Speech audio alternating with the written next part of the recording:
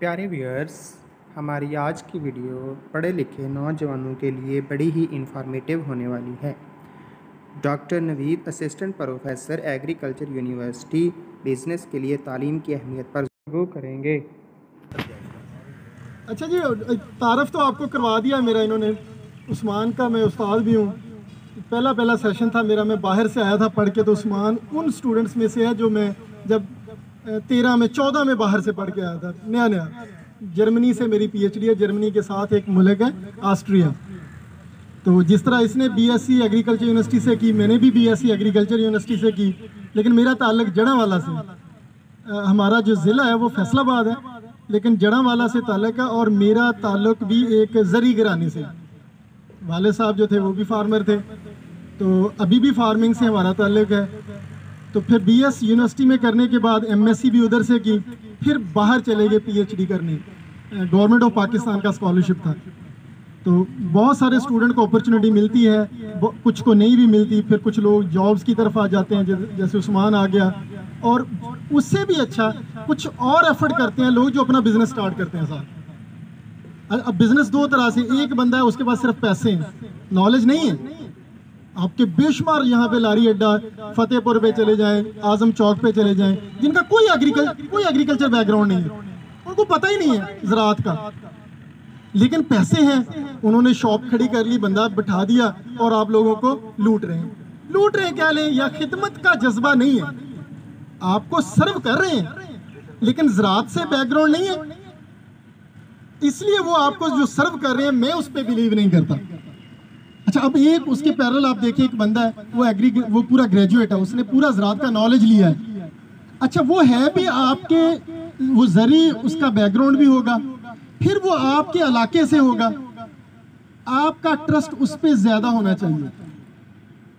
ये बड़े, बड़ा टाइम लगता है, मुझे याद है, मैं नया नया पढ़ने आया शहर से तो छः सात साल कोई बंदा मुझे नहीं जानता था, ना मुझे को बुलाता था कि ये बंदा उधर पढ़ता है फैसलाबाद में, और ये हमें क्या ज़रात बताएगा। नहीं, ये बड़ा मुश्किल है ट्रस्ट करना ना। फिर कुछ ऐसी चीज़ें आई कि जब हम, मैंने सोचा कि अब हमारा एंड फार्मर ही है तो कुछ ऐसा हमने नया सोचा, कुछ नया करने की कोशिश की, फिर गाँव में कुछ चीज़ें नई इंट्रोड्यूस करवाई। किसी को नहीं पता नया बीज कहाँ से आता है। मेरे गाँव में, मेरा गाँव 50 किलोमीटर फैसलाबाद से है। फैसलाबाद में नए बीज बनते हैं, मेरे गाँव में नहीं बनते। अब गाँव वाले कहते थे जी, ये शहर में पढ़ता बच्चा हमें क्या बताएगा कि ज़रात कैसे करनी है? लेकिन एक वक्त आया कि जब मैंने आहिस्ता आहिस्ता मैंने मैंने सोचा कि अब मैं इन्फ्लुएंस करूँ ना, मैं देखूँ लोगों को।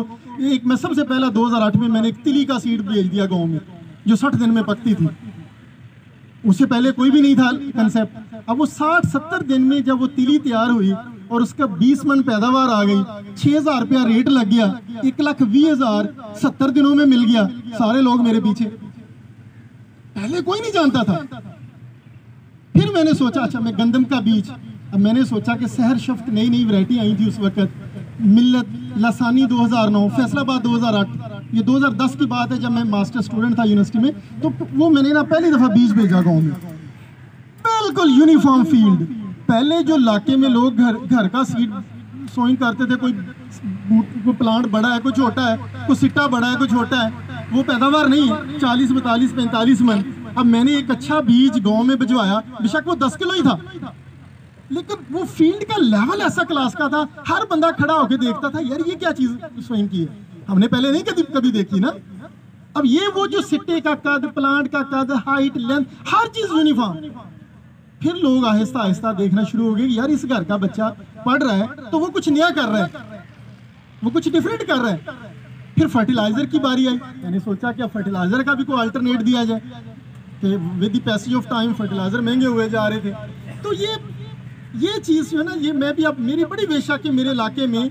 अब जर, वो जो जरी शॉप है उसी बच्चे की उसी बंदे की हो जिसका बच्चा यूनिवर्सिटी में पढ़ता हो या जिसका तल्लक हो ज़रात से। लेकिन अभी मैं इसमें कामयाब नहीं हुआ। बस एक दो ऐसी शॉप्स या मैंने ऐसे कोई लिंक भेजे हैं जहाँ जहाँ पे मैंने कंसल्टेंसी शुरू की है। इसको टाइम लगेगा। आठ दस साल और लगेंगे, फिर जाके आएगा। अभी बहुत सारे जो दुकान उधर बैठे हैं, अब हमारे मेरे स्टूडेंट जाते हैं वहाँ पे जो ज़रात की दुकान पे। अब वो बंदों का बैकग्राउंड नहीं है। जी, जाके थोड़ी सी उसके कहते हैं, जी, थोड़ा सा टेक्निकल नाम बता देते हैं। कोई दवाई का नाम, नया बता दिया, बीज का नाम, खाद का नाम। वो बंदे सोच में पड़ जाते हैं, यार, ये बंदा कैसी बातें कर रहा है हमसे? कभी देखा नहीं उन्होंने। हालाँकि उनकी जरी शॉप है ना, वो फार्मर को उनको चाहिए हर चीज़ लेटेस्ट हो। फार्मर को हर चीज़ नहीं दें, लेकिन उनको पता ही नहीं होता। वो बेचारे देख रहे होते हैं अच्छा फिर कहते हैं, यार, हमें ला के दे दोगे ये यूनिवर्सिटी से? तुम यूनिवर्सिटी पढ़ते हो? यूनिवर्सिटी का एक बैकग्राउंड है, एक डिग्री का बैकग्राउंड है। अब यहाँ से इसने चार, पाँच से छः साल गुजारे हैं, वहाँ पे ऐसा दारा है जहाँ पे नए वरायटियाँ बनती हैं। 600 वरायटियाँ यूब रिसर्च सेंटर ने दी अभी तक मुख्तलिफ़ फ़सलों में।